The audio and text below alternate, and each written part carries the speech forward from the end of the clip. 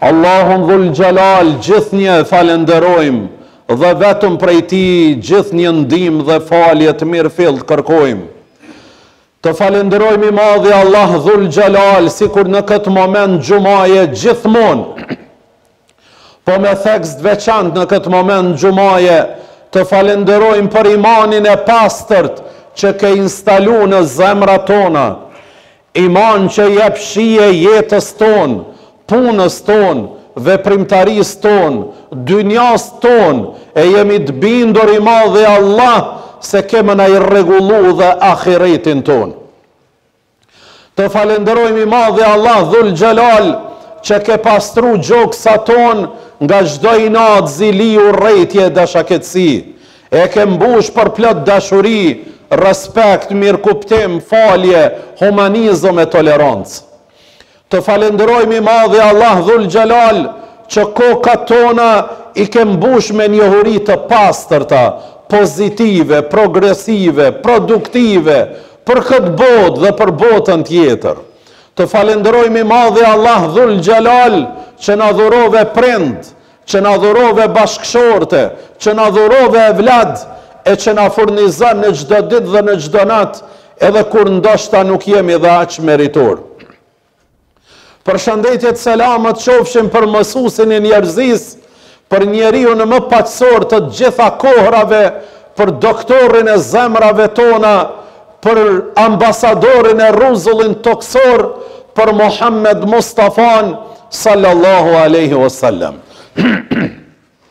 Të dashurit e mi, vëllezër dhe ju motra. Jemi në xhumanë e parë të këtij muaji mubarak, të këtij muaji të bekuar Ramazan.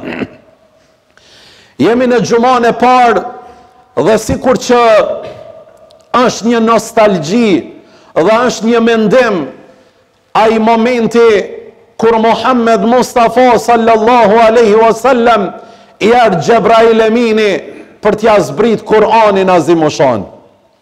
Është një ndjenjë e veçantë kur kujton se rruzulli tokësor ka zbrit në të krijesa më madhore, më gjigante, që quhet Xhebrail Emin. I ka ardhur udhëzuesi, libri i gjitha kohërave, shpëtues i vetëm i njerëzisë mbarë, Kur'ani Azimushan. I ka ardhë njeriut më të mirë të rruzullit tokësor, Muhammed Mustafas, Sallallahu Aleyhi Vësallam. E dashurit e mi, vëllezër dhe ju motra. Muaji i madh i Ramazanit, ka shumë mesazhe në të. Mirëpo unë sot, do të fokusohem vetëm te një thënie. Muaji i Ramazanit është muaj i edukimit. ku parësisht njeriu e edukon veten e tij. E edukimi i vetes është nga edukimet më të vështira që mund ta kaplojë njeriun. Njeriu mund të jetë i aftë t'i edukojë të tjerët. Njeriu mund të jetë shumë i aftë edhe t'i trajnojë të tjerët. Por, gjënë më të vështirë që e ka njeriu është edukimin me ja bo vetvetes vet. Pikërisht Zoti ka bërë muajin e Ramazanit, këtë muaj të agjërimit si një shans që njeriu me të vërtetë ta testojë vetveten e vet. Në Ramazan njeriu duhet t'i shiqojë pikat e forta që t'i zhvillojë ato. t'i avancojë ato, t'i konsolidojë edhe më shumë, sikur që duhet t'i shiqojë dhe t'i vrejë edhe pikat e dobëta që t'i kurojë ato, t'i shërojë ato, t'i forcojë dhe t'i kanalizojë ka e mira, jo do të thotë të rrinë edhe në Ramazan me ato pika të dobëta. Profeti Muhammed, alejhi salatu wa salam, thotë në një hadith që këtë dëshiroj ju me marrë sot. Së bashku edhe unë me ju. Agjerimi është mburojë. Agjerimi është mburojë. Këtë thënie duhet ta kuptojmë në këtë formë. Nëpërmjet agjerimit, njeriu e mbron vetveten e tij nga shumë e shumë probleme. e mbron nga lakmia e tepërt e kësaj bote, e cila nëse hyn në shpirtin dhe në zemrën e njeriut, ia deformon, ia shkatërron dhe ia zbeh shumë do të thotë atë. Ramazani i thotë njeriut se është e mundur ta kufizosh, ta lokalizosh lakminë. Ramazani i thotë se njeriu përjeton kënaqësinë e veçantë dhe shumë speciale kur të abstenon, të stagnon nga disa gjëra të përditshme që i ka. E para. E dyta, agjërimi është mburojë për mendjen e njeriut. Pasi që njeriu gjatë muajit të Ramazanit mundohet ta largojë mendjen e tij nga mendimet negative, nga mendimet e gabuara, Ramazani duhet të na angazhojë që mendimet e gabume, paragjykimet, perceptimet e gabume, na me i ndryshu ato. Nëse i vjen diçka jo e hijshme në mendjen e tij, ai thotë vetes, Unë jam agjërueshëm, dhe ngadalë ngadalë lirohet dhe pastrohet prej këtyre koncepteve të gabuara edhe nimdhet muj tjerë. Një gjë që është bërë shprehi të mendosh negativisht, ta lëndosh, shpirtërisht tjetrin.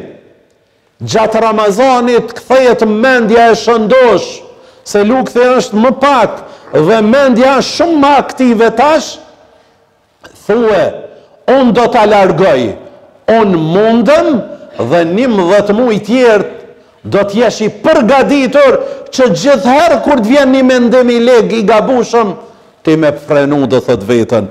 Ky është përfitim i madh në muajin e Ramazanit. E treta, agjërimi është mburojë për gjuhën e njeriut. Kjo gjuhë që Zoti e ka bërë me dy rrethoje, Rrethoja e parë janë dhëmbët. Ashti më i fortë në trupin e njeriut. E dyta është buzët. Kurse truri është mbrapa kokës. Shumë me mendu, me analizu. E pastaj me shpreh. Se sa ta kesh, ai është robi yt. Në moment që ta nxjerrësh, ti je rob i fjalës tënde. Për këtë Zoti edhe teknikisht, praktikisht po të thotë kujdes. Jo do të thotë çka të vjen në mendje ti duhesh ta shprehsh. Kjo gjuhë që nuk ka kocka. Por dëmton shumë individ, shumë familje, dëmton jetën e shumë njerëzve. Na njohim edhe mbrenda kolegëve tonë të profesioneve tona që mund t'i kemi këtu. Edhe në familjet tona, edhe në shoqërinë tonë. Që fjala është bërë shkaktar e pamendume, e pakontrollume, jo dashamirëse, ka dasht me degradu tjetrin, ja ka humbë karrierën, e ka humbë individin, ja ka çrregullu familjen, ja ka humbën pasunien ja ka humbën, shkaktar ka qenë gjuha, Për këtë ka thonë Muhammed Mustafaja sallallahu alejhi ue selem, më së shumti që i çon në xhehenem njerëzit janë dy. E para e ka përmend, ka thonë gjuha.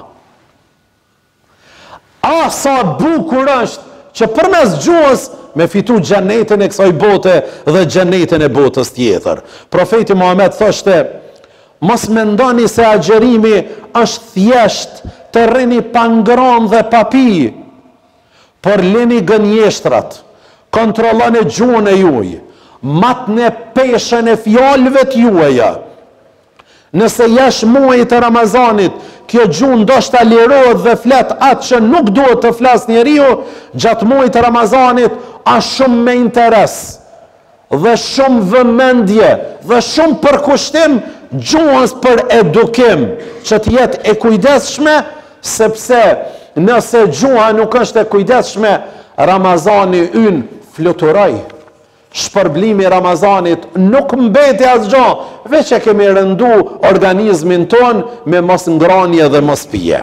E katërta apo e pesta, agjërimi Dhe Ramazani është mburojë dhe mbrojtje për njeriun vetëm për këtë botë. Apo nuk është mbrojtje vetëm për këtë botë. Po agjërimi dhe Ramazani është mbrojtje, mburojë për mu dhe për ty, edhe për këtë botë, edhe për botën tjetër. Por është mburojë në varrin tand dhe timin. Pasi që është transmetuar se, kur njeriut i afrohet dënimi në varr, agjërimi dhe Ramazani i vjen dhe hyn në mes të zjarrit dhe njeriut dhe e mbron nga çdo dënim i varrit dhe i botës tjetër. Sa bukur që na ka udhëzu Zoti. Sa bukur që i madhi Allah dhul xhelal atij i qofshmi falë na e ka dhonë këtë shëndet, këtë udhëzim dhe këtë mundësi me agjëru. E ky agjërim ka me qenë mburojë pengesa kryesore Kur do dalem para Zotit Dhul Xhelal, me na mbroj nga çdo dënim i botës tjetër. E pesta, Ramazani dhe agjërimi është mburojë edhe në botën tjetër, pasi që e mbron njeriun nga zjarmi i xhehenemit edhe në botën tjetër, jo vetëm në varr.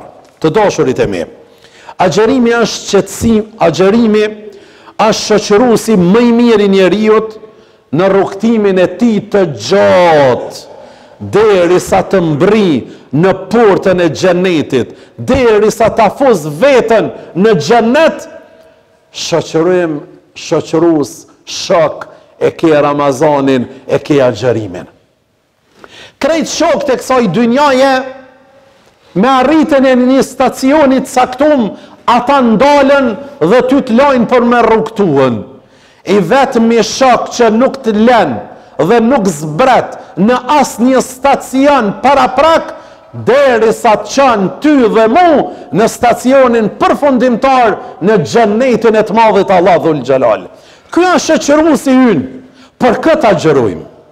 Muaji i Ramazanit është muaji që Allahu Xheleshanuhu vjen, jo e, e sjell muajin Ramazan, jo për të na rëndu, por për të të lehtu. Vjen dhe merr pak prej teje për të dhonë shumë ty pak ma vonë. Vjen edhe pasi që ke kërku Apo edhe pasi që ke harru, Ai nuk të harron, as në këtë botë, e nuk të harron, as në botën tjetër. Mysafiri është ky. E ku janë ata që e presin dhe po e presin, edhe mikpresin këtë mysafir? Ka njerëz që nuk janë të atillë që ja hapin derën këtij mysafiri. Ka të atillë njerëz që nuk i lexojnë mesazhet e këtij mysafiri, hm? Është sikur puna atij, unë edhe ti që i çojmë mesazh dikujna, mirëpo ai nuk t'i lexon mesazhet. Hm? Ramazani nuk ka punë me këta. Ka njerëz që kanë pritur apo e kanë prit ftoft apo formalisht Ramazanin.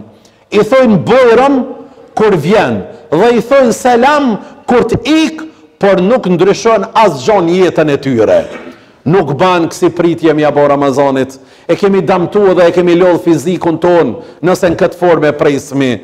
Mirëpo mirë se vjen, bujrum Çka muj une me bërë në këtë Ramazan për me e përmirësu vetveten time, familjen, shoqërinë, konceptet e mia, vizionin tim? Dhe kur të ik, ik duke më lanë një bagazh të virtyteve të larta njerëzore. Ama, ka disa tjerë që e presin prej larg, sepse e dinë miku që po vjen, e dinë bereqetin që e sjell ky Ramazan. Ata që janë apo ata që ja dinë vlerën, angazhohen maksimalisht. Dojnë t'ja japin hakun edhe pasi të shkon. Gjithmonë i shqetëson diçka. A thu, a thu, këto fjalë kemi me thonë në fund të Ramazanit, ata që e kanë shfrytëzu Ramazanin, a thu e bëra detyrimin tem, Ndaj këtij miku të mirë, a thu, a ia dhash hakun këtij miku të mirë? Këta janë njerëzit që e vlerësojnë Ramazanin dhe Ramazani ka me i vlerësu këta njerëz. Ramazani ka me i vlerësu. Mos e harroni. Ramazani është mburojë. Ramazani është vlerësim. Ramazani është edukim. Ramazani është Vlerë! Ramazani vjen, me na ngrit neve në piedestalin më të lartë. Kjo është të qenurit agjërueshëm, kjo është të qenurit të hyrit në Ramazan dhe të jetuarit me Kur'an. Walhamdulillahi Rabbil Alemin.